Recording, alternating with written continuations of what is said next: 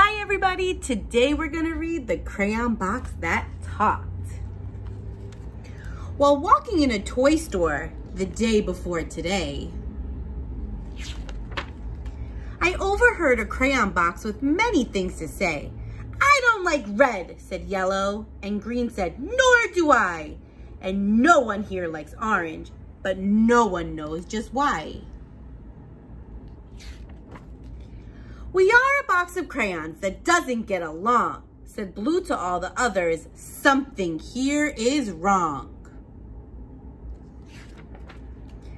Well, I bought that box of crayons and took it home with me and laid out all the colors so the crayons could all see. They watched me as I colored with red and blue and green and black and white and orange and every color in between. They watched as green became the grass and blue became the sky.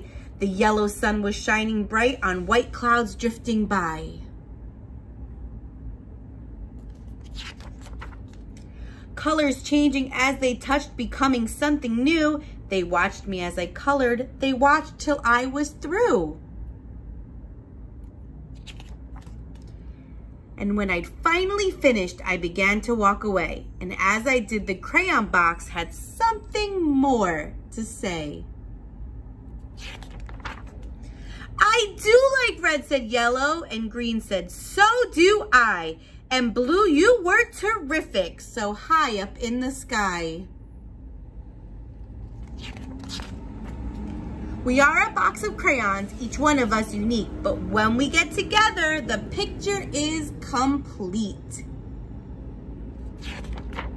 The end. See you tomorrow.